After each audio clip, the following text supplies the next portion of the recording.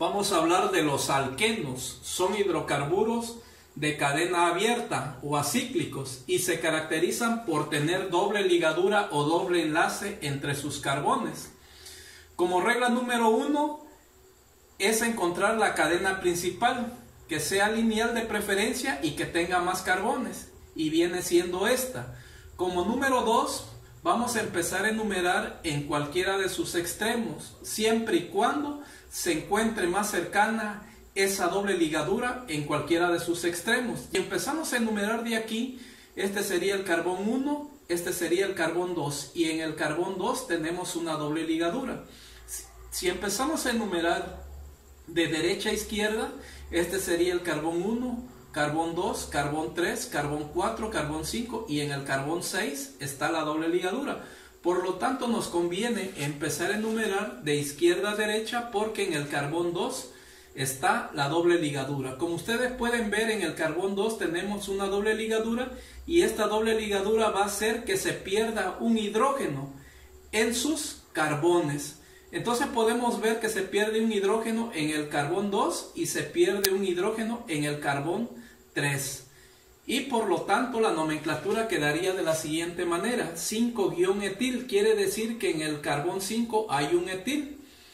Debería de ser aquí CH2, pero se queda con CH, con un solo hidrógeno, porque se le inserta el radical etil.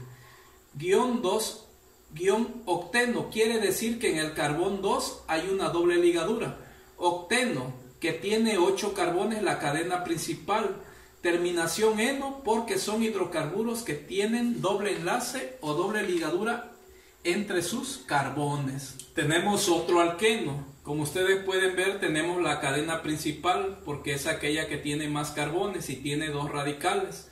Ahora vamos a detectar dónde está la doble ligadura más cercana a los extremos. Si empezamos de izquierda a derecha, en el carbón 1 hay una doble ligadura.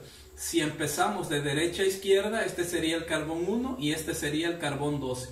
Y en el carbón 2 hay una doble ligadura. Por lo tanto, la doble ligadura está más cercana de izquierda a derecha. Y aquí podemos ver que en el carbón 1 hay una doble ligadura. En el primer carbón debería de ser CH3, pero como se inserta una doble ligadura se queda con CH2, se pierde un hidrógeno y en el carbón 2 debería de ser CH2, pero se pierde un hidrógeno porque se inserta una doble ligadura en el carbón 1 y esta doble ligadura va a hacer que se pierda un hidrógeno en sus extremos.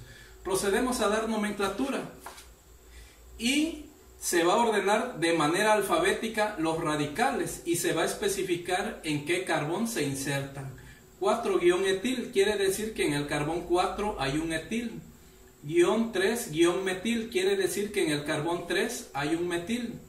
Guión 1,5, guion heptadieno, quiere decir que en el carbón 1 hay una doble ligadura y que en el carbón 5 hay una doble ligadura. Hepta, que son 7 carbones, di, que son dos dobles ligaduras, terminación eno, porque son hidrocarburos que tienen enlace doble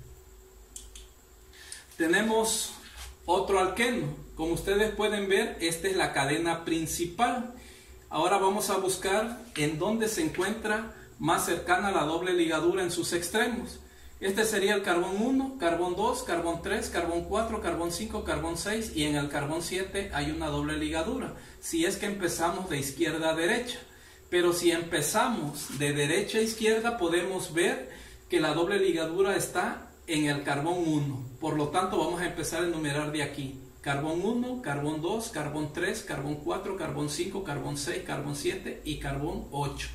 Y la nomenclatura queda de la siguiente manera, recordando que se va a ordenar de manera alfabética. Entonces tenemos 4-etil, quiere decir que en el carbón 4 hay un etil, porque empieza con la letra E.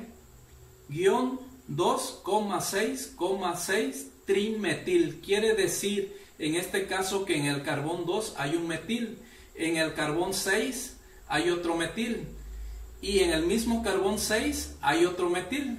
Como quien dice, hay dos metiles o dos radicales metil. guion 1 guion octeno. Quiere decir con este 1 que en el carbón 1 hay una doble ligadura. Octeno que tiene 8 carbones, terminación eno, porque es un hidrocarburo que tiene doble enlace o doble ligadura entre sus carbones. Este es otro alqueno y aquí podemos ver la cadena principal. Ahora vamos a verificar dónde se encuentra más cercana la doble ligadura. Si empezamos de izquierda a derecha, en el carbón 1 hay una doble ligadura. Si empezamos de derecha a izquierda, este sería el carbón 1, carbón 2, carbón 3, carbón 4 y carbón 5. En el carbón 5 va a haber una doble ligadura. Por lo tanto, la doble ligadura más cercana se encuentra en el carbón 1 de izquierda a derecha, pero también podemos ver que hay otra doble ligadura en el carbón 3.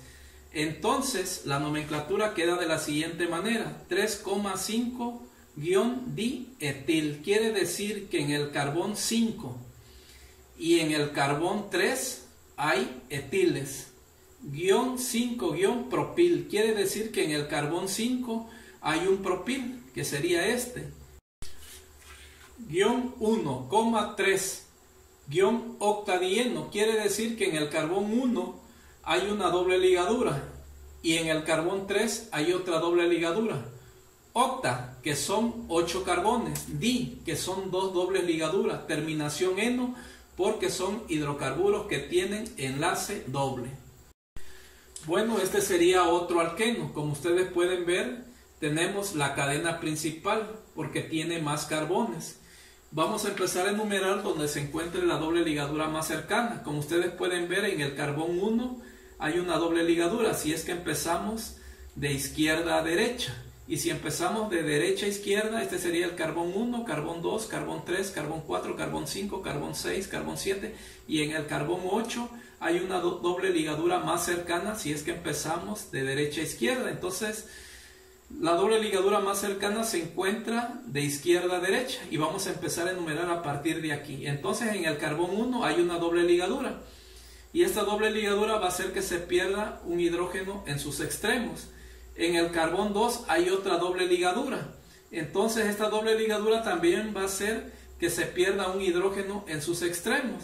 Y aquí nada más quedaría el solo carbón, porque perdió sus dos hidrógenos con la doble ligadura que se encuentra en el carbón 1 y con la doble ligadura que se encuentra en el carbón 2. Y podemos ver otra doble ligadura en el carbón 5. Y esta doble ligadura va a hacer que se pierdan un hidrógeno en sus extremos. Tenemos carbón 6, carbón 7, carbón 8, carbón 9, carbón 10, carbón 11, carbón 12 y tenemos el carbón 13. Como ustedes pueden ver en el carbón 11 hay dos radicales, por lo tanto el, el carbón perdió sus dos hidrógenos. Aquí hay un radical, aquí se pierde un hidrógeno. Aquí hay un radical, el carbón pierde un hidrógeno y aquí hay otro radical y el carbón pierde un hidrógeno y por lo tanto nada más se quedan con CH, a excepción de aquí que pierde los dos y solamente se queda el solo carbón y la nomenclatura queda de la siguiente manera. 7-butil quiere decir que en el carbón 7 hay un butil. Guión 9-etil quiere decir que en el carbón 9 hay un etil. Guión 4,11,11 guion trimetil quiere decir que hay tres metiles, uno en el carbón 4, otro en el carbón 11 y hay otro más en el carbón 11, hay otro metil. Guión 1,2,5 trideca trieno. Quiere decir que hay una doble ligadura en el carbón 1, hay otra doble ligadura en el carbón 2 y hay otra doble ligadura en el carbón 5. Trideca quiere decir que son 13 carbones. Tri, que son tres doble ligaduras. Terminación eno, porque son hidrocarburos de enlace doble. Tenemos otro alqueno y podemos ver a la cadena principal. Ahora vamos a buscar dónde se encuentra la doble ligadura más cercana. Si empezamos de izquierda a derecha, en el carbón 1 y en el carbón 2 hay una doble ligadura.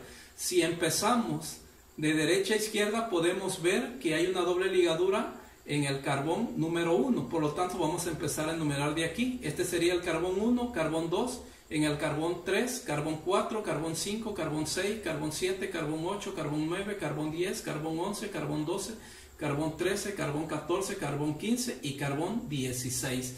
Procedemos a dar nomenclatura en orden alfabético. 13-bromo quiere decir que en el carbón 13 hay un bromo. Guión 8,8 dietil quiere decir que en el carbón 8 hay un etil y en el mismo carbón 8 hay otro etil, por eso son dos etiles. Guión 4,10,12 trimetil son tres metiles. Que hay un metil en el carbón 4, aquí lo podemos ver. Hay otro metil en el carbón 10, aquí está. Y hay otro metil en el carbón 12, aquí lo tenemos. Guión 5 propil, quiere decir que en el carbón 5 hay un propil, aquí lo tenemos. Y hay una doble ligadura en el carbón 1, aquí lo tenemos. En el carbón 3 hay otra doble ligadura, aquí lo podemos tener. En el carbón 6 hay otra doble ligadura, aquí está. Y en el carbón 14 tenemos otra doble ligadura, aquí la, aquí la tenemos.